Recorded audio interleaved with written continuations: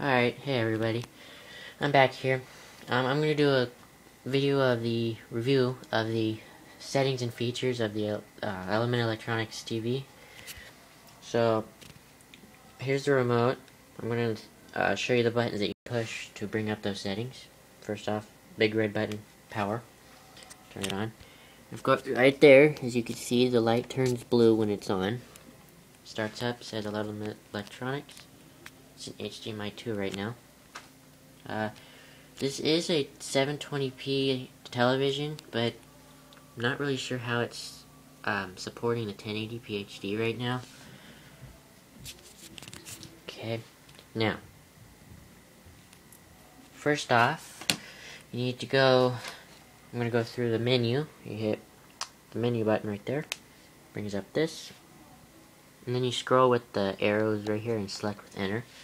So, in video quality mode, or video mode, whatever, you have picture, whoops, excuse me, I moved it, okay, picture, standard, and then you can adjust the brightness, the contrast, the saturation, and the sharpness. They're all on 50, the sharpness is at 4, so that's the standard definition, whoops, got off menu. Uh, below all that you have color temp temperature, I'm not really sure what that is, but you can switch it to standard, warm, cool, or back to standard again. Down here you have advanced video, which brings you to DNR, black level extender, white peak limiter, flesh tone, adaptive luma control, and HDMI mode, audio. Oops. Oh wow. Actually kind of cool. Oh wow. I never actually messed with this part before. Kind of makes it very vibrant. Okay, but anyway, with that, let's go. Oops. Let's go back. That's all the picture settings, video settings, whatever. Now the sound settings, audio. You have your balance to. Crap! It keeps going out. Okay. Okay, you have your balance uh, if you have it set to zero, it mixes the volume to be coming out of the left and right speakers uh, speakers equally. And if you put it all the way this way, it'll only come out of the right speaker or the left speaker. I'm not sure why you do that. And it has surround sound capabilities, which is turned on. Then the equalizer, which you can adjust all the hertz and gigahertz and all that stuff for the quality of the sound. Doesn't really have a good time of keeping the menu up, which is weird. Okay, then you have SPDIF type, which is set to Dolby Digital Surround Sound, or Dolby Digital Surround, whatever, whatever.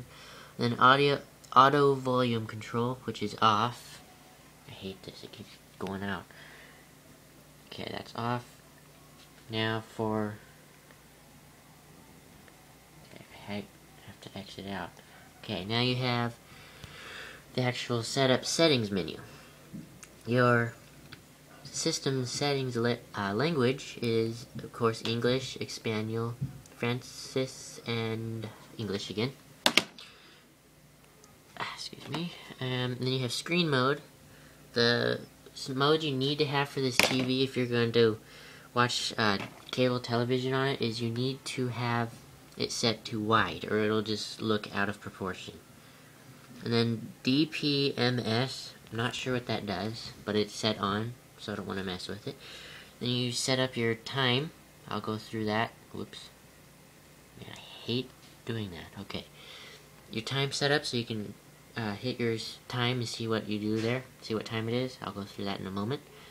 Then you reset all the settings you've made to the factory default settings. Ah, alright. Now, that's the parental controls, so you can set a password, uh, like basically a V-chip for channel block. Dang it, I hate that. Sorry about this. No, I don't want to input a password right now. Crap, okay, I won't do that then. channel block, um, input block, and program block. So that's all for the menu. Now, the way I was getting out of it is you press the exit button right there. Now as for the time, you hit the little time button right here on the remote, and it'll display the time down here in the corner. Not sure if the time's correct or not. I want to say it is. Oh yeah, it's about 20 minutes off. Okay, and then you have, you can press the picture button and switch it from standard. Oops, messed up there. Okay, standard. Why does it want to switch to volume? Oh, there we go. Pick uh, cinema, user, vivid, or back to standard again. And then you hit right here the sound settings. You can have user, music, standard, speech, or back to user. My favorite's music. Then you can go and display, and it'll take away the HDMI thing, or put it back. You can, whichever one you want. Now, then you also have a sleep timer, which, crap, I keep hitting the wrong button. Sorry for all this. Okay. Which you have 5 minutes, 10 minutes, 15 minutes, 30, 45, 60, 90, 120, 180, all the way up to 240 minutes of however you want, long you want the TV to stay on. And then you also have uh, mute. And here's your inputs. You have your S-video input, component 1 and 2,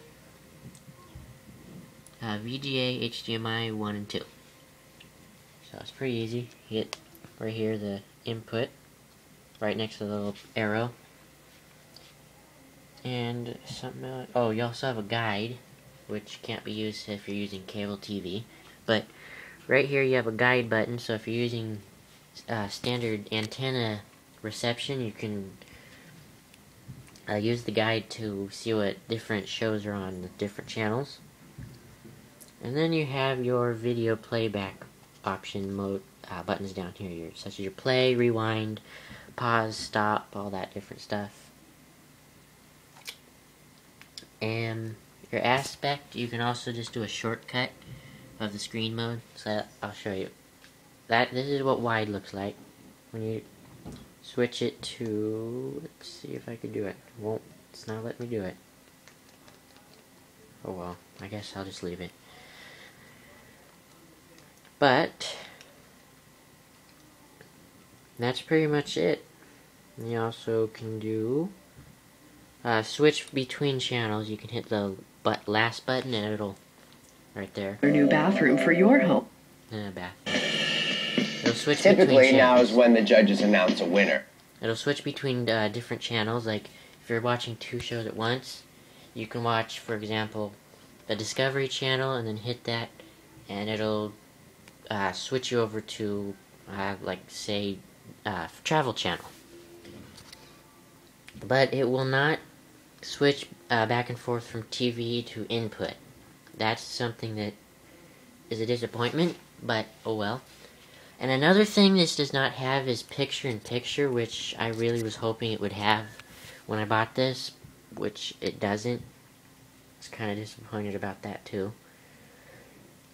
So anyway, and you also can, uh, right here, right here, put input your numbers like every uh, TV. That's nothing new. so, that's pretty much it of what this TV's settings and features are and what it's capable of. So, thank you for watching this and please subscribe, rate, and comment.